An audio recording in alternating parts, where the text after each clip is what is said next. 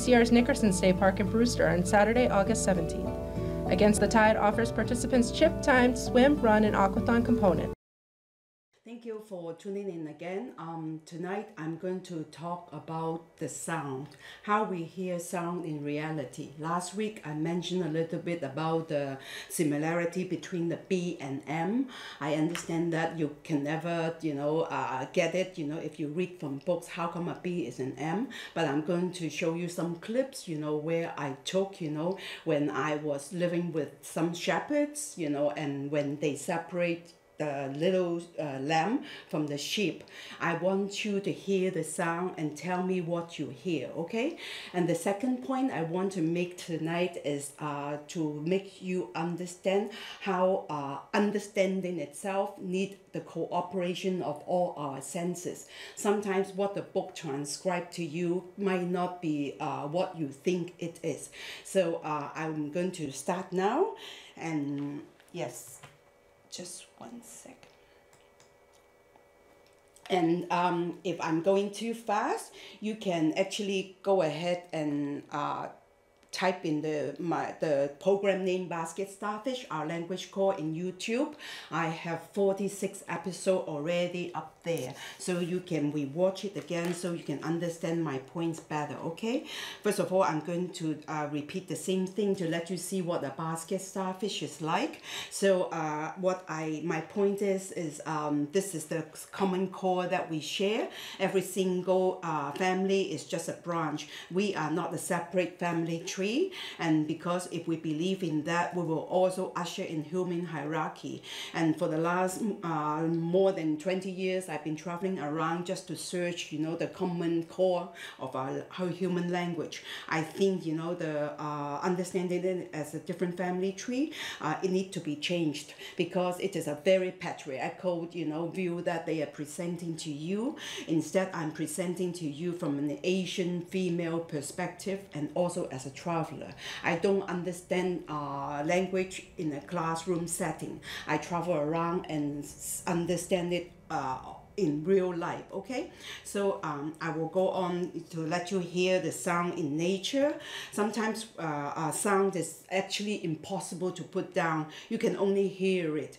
And um, today I'm going to give you an example how the B and the M can be very very similar okay? And um, uh, that's how you know you come to this idea the babe and the ma so I will let you see it and please uh, watch it on your own. And um, this is a, a, clip that I took in a very remote island in the middle of the Indian Ocean called Socotra. And um, you will see that uh, the baby lamb are being locked up in a stone hut. And then all this mother lamb was standing up on a hill. They are calling each other in a very interesting way. I, I was there listening for it for more than 10, two hours before I started, you know, shooting this video. And because this is a place where there is no electricity, so I had to be very frugal with my battery in the camera. So I just took very, very short clips, you know, hopefully that you, you can hear the sound as I did, okay?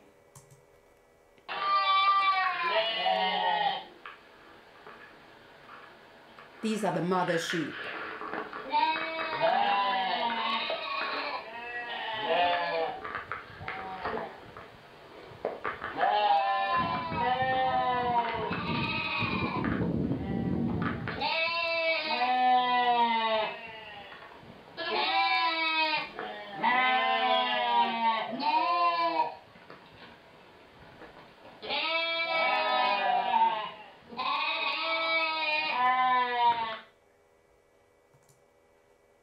So look at this now. I want you to hear it more.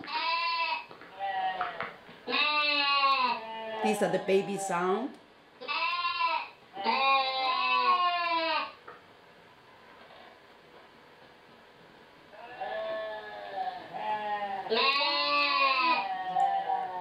Those outside in unison with the mother group calling the baby sheep.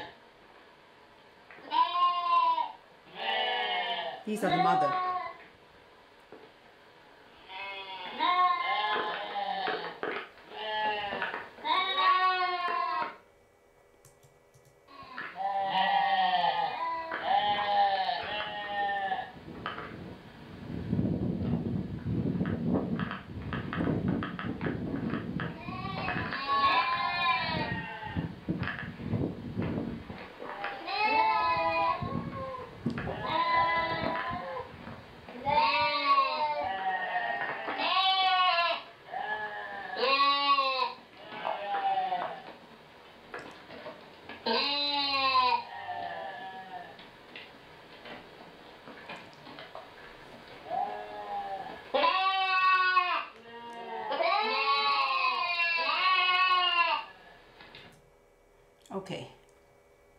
I will stop it for one second.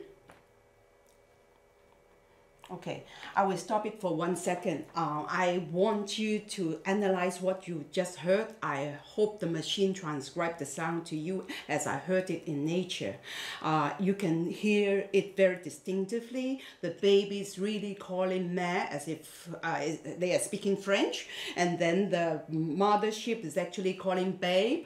And it is very interesting. And also in this island, I heard a very interesting consonant.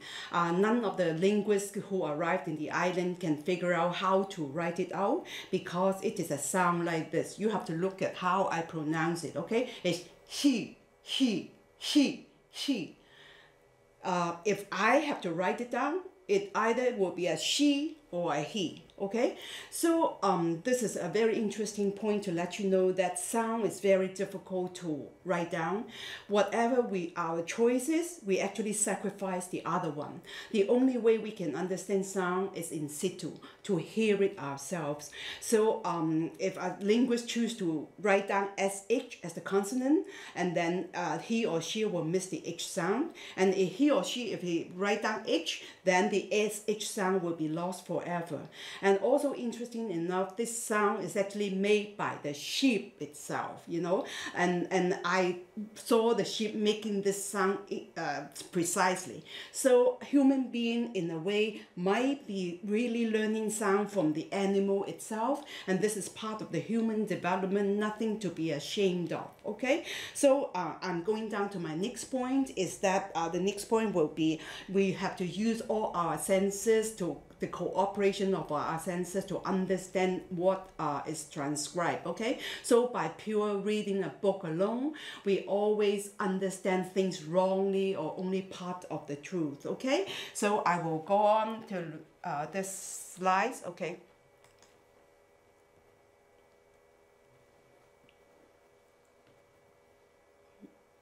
Okay, uh, so it all calls for uh, for the flexibility to understand things. We use our eye, our mind, and ears to understand. You know, this is the most simple three things that we use to understand.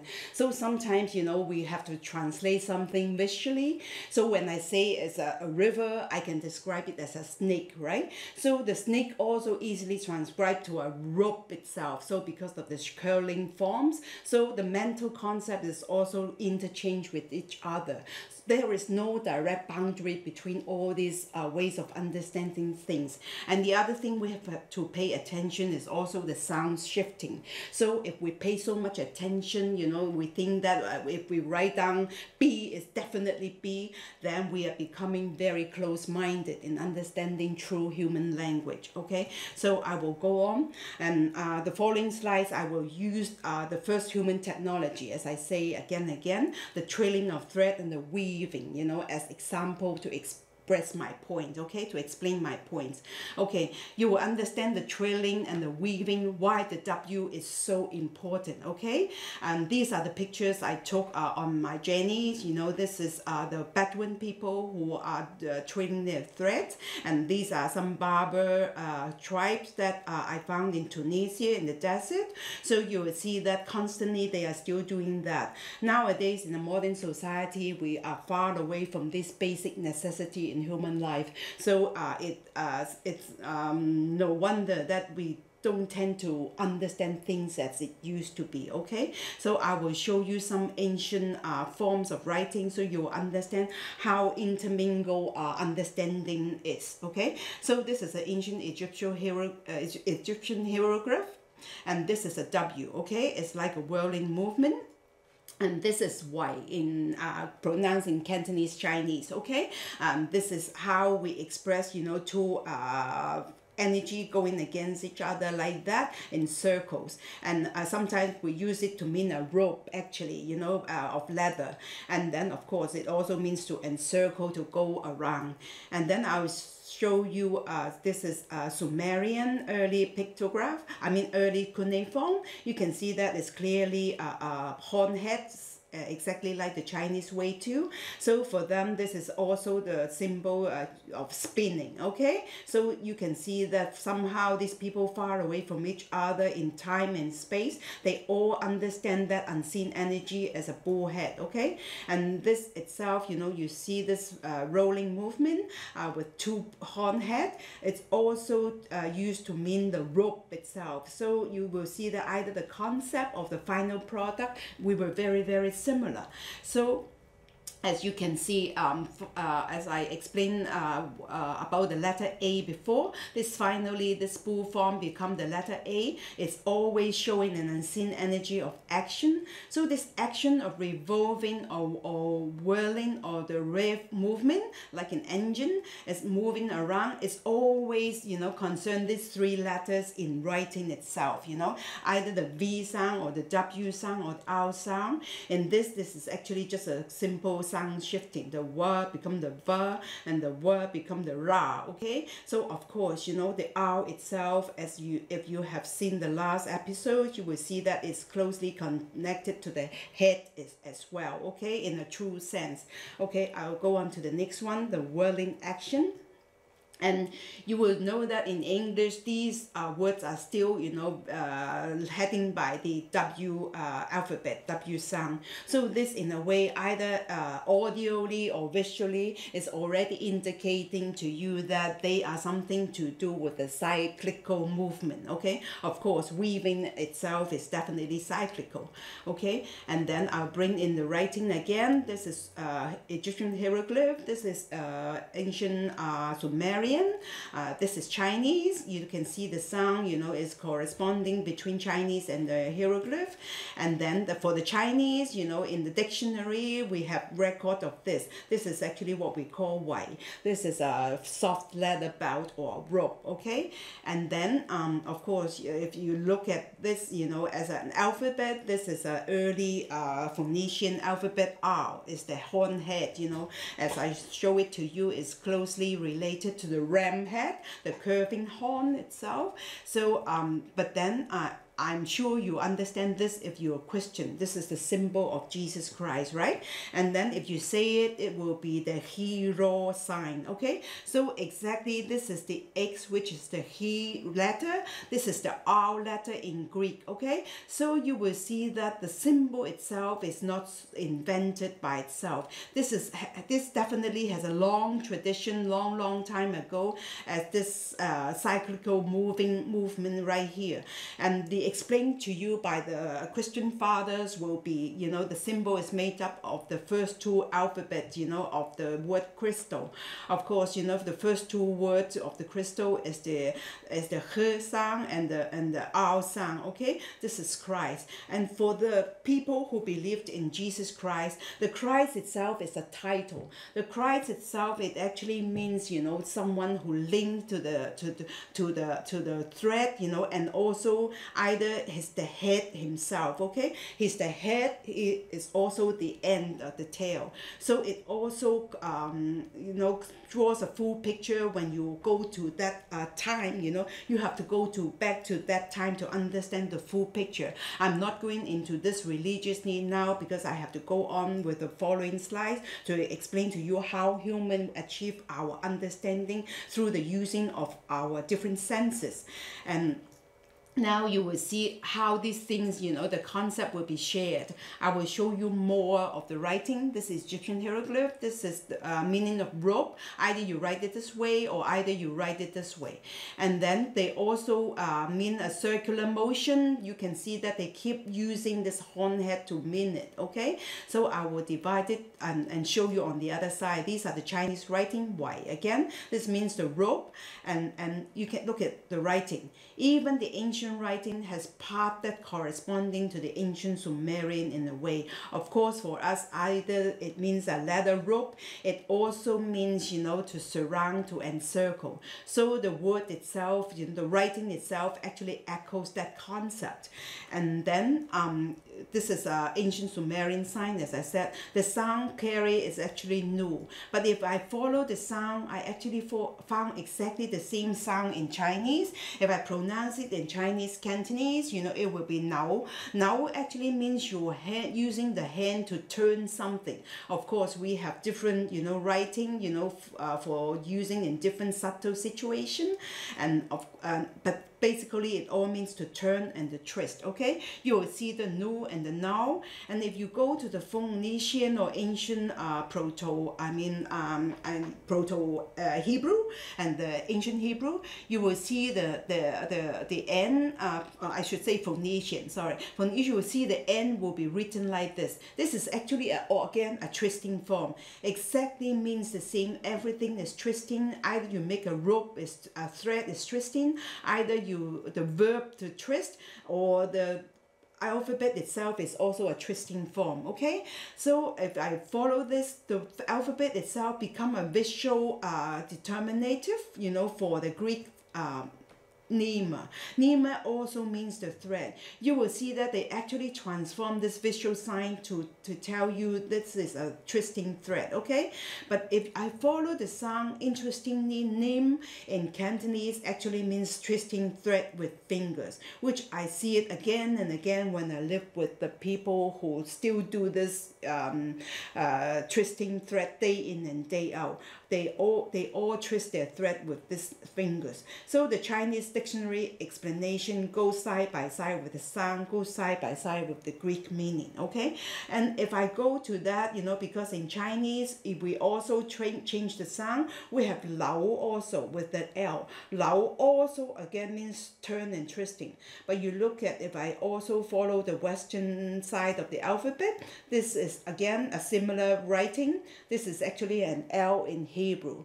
So only we draw the line which one is a Phoenician, which one is a Hebrew, but then in real sense as a human being, they all understand it similarly in a very, very similar and subtle way, okay? So I'll go on to the next one this is I'll show you the process of weaving. I see it again and again. It actually went through a, goes through a lot of different process. It will be thrown into this uh, threads like this and then it will be spin into I mean turn into a, a, a you know a, a like this. Or, or, or you can actually call it a hank and that's follow the H sound. And sometimes for easy storage they will twist it around like this. Then they will extend it out again and turn it into a ball. So I never get to understand why why you have to go through so many different steps. Um, but then when I read the ancient myths, you know, so you will always remember that Ariadne, Ariadne, okay, the ancient Greek myth, uh, myths, you know, they said that Theseus was given a ball of thread, you know, to go into the labyrinth to kill the Minotaur. And but then uh, in the English book, they will always tell you a ball of thread. So I look into uh, it and then I wanted to find out whether it was really a ball because I saw so many forms of thread in my traveling. So um, this is the story goes, you know, they need to take a ball like this. And when I look uh, into the internet, I found these images. They uh, these are all the 18th century uh, pictures. They will imagine because the book sets the board of uh, threads, so the artist will follow those traditions to, to draw all these balls of thread. Um, but there is something wrong with it. If you are really this hero, will you be holding a ball in your hand when you are really facing great danger? Does it make any sense to you? So uh, I am uh, person who always question okay? So but if you only read them from book you follow books blindly then uh, and and the artists actually don't do real research. They just follow the books too. This is the problem with our modern education. We believe in books too much. We don't look at real life okay? And this is really a cute picture i find okay? So um this is a little bit true to the reality. You know, this is a, a, a bobbin of thread that uh, that uh, Theseus is holding, looking for the Minotaur itself. So can, but still, can this be true? Do you think someone in great danger, holding a, a sword facing a possible danger, will really waste one hand to hold a thread? So I look more into ancient images. Okay, so that's what I found. So. Uh, how do you think the threads were really carried? This is what the pictures were. So this, I go into the, the, the a few hundred years BC uh, uh, utensil images, you know, of how the threads uh, were carried. Of course, you know, they would be carried like this with a like a hang form, and then they will be going around like this. So I found different tradition within the Greek uh, thing, uh, really uh, Greek uh, area, they were still carrying like this across the shoulder. And I also want to, to take this chance to show you that, you know, the ancient draw pictures, not for decorative purpose, it's always to tell you a message. So this bird here is not for, um, uh, for for beauty. Uh, this is actually showing you the soul of the, the minotaur because it's dead. This is an indication some something is dead. Okay, so all the pictures, everything is an information. So you can really take it seriously as a book. Okay, so you will see that this tradition here, you can still see the thread right here. You will see the thread right here. If uh, because at those time people understand things. People understand things better than us now so they no one will really believe that they will carry a ball in their hand okay? So you will see that you know no matter you know different areas in greek they still depict it like this because people are very close to weaving so they understand what is needed okay? So even uh, after a few hundred years in the in the very classic greek period when they all already achieved this beautiful portion of of painting you know you see how well they paint at that time after a few hundred years of development you will see that the thread is still very very importantly carried across the shoulder. They were never like a ball. It's only now that we lost track of history that we believe that it was a ball, okay? So you will see that, you know, so this is the difference. But then I asked myself why the ball was necessary in weaving, okay? So maybe it never occurred to you. And But then I actually found out that this is the first uh, artificial round object in human history. Uh, and, and this is the real round object that human really invented. And the alphabet invent, uh, uh, uh involved will be this W or the round, and then from, from this it will also be evolved to V, F, B and, and, and, and P, okay? But I'm not going to dwell on this this time. I have other things to show you. And, and then this is a Greek sphere. You know, a ball is a sphere. A ball come from here, okay? A sphere you will see that the Greek actually use a lot of visual cue. You can you see that these things are actually always rolling. They are telling you that this is something of a potential of motion. It's very important the ancient actually put everything visually. It's only that now we pay so much attention just in the how they represent sound. For the, the ancient, they read more information by the writing, okay? So why a sphere is needed? uh, when you can you seem to be okay you know with this hand okay? So you will see that now if you are doing knitting you know so uh, a ball is actually a pain in the ass right? They are rolling around all the time. You would always prefer them to be like this. That's why the manufacturer never make them into a ball. They always make it like this because they don't want it to roll around unnecessarily. And then I will show you you know back this you know it actually this is Egypt I mean this is Sumerian this is Egyptian hieroglyph this is Chinese this is uh, Hungarian this is uh, Proto uh, Hebrew, uh, I mean ancient Hebrew. This is the Hank. So this is the development of all the H sound all corresponding to a very vertical X movement around an axle. But why do we need a ball which goes around and horizontally with an axle horizontally? You will see that the Greek has a different writing of the S. Why the sphere is so important? Because it tells you a very cyclical movement moving in a different way other than the vertical axle movement. So uh, if you understand it slowly, go back to the YouTube typing. You need to think about about this the, the, the movement, the axial movement, and the cyclical movement. They are they all move in a different play, plane, okay? So the sphere, all this is showing you different uh, circular motion. Why is the sphere necessary? And why am, am I saying that uh, this rolling motion? And why am I saying that the ball is the first human invention of a round object? Uh, look at this. Look at the following. This is the history of the ball game that you can find. Look at all this writing. I sat with these people, and this is how weaving was done.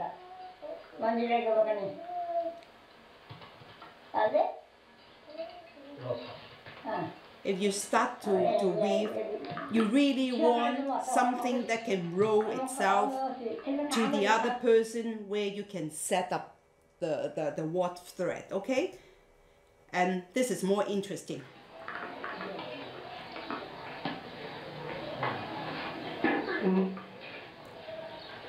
Notice, when our weaving becomes longer, rolling becomes too slow. The ball need to travel in the air. So, and notice that the guy actually changing color of the threads too. So it's not just purely a game. It's a very mentally challenging thing. You have to be fast. You have to know what's going on. You have to know the pattern. And the ball is travel much faster than rolling. So both the rolling and the throwing of the ball in a cyclical movement is all built into our language. Look, this is the third time he changed color. From red to white to brown.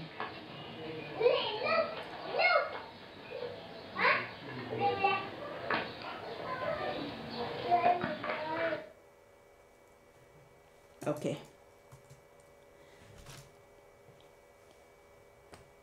So, thank you so much for watching. Uh, please go back to YouTube, type in the program name, and you can understand it better.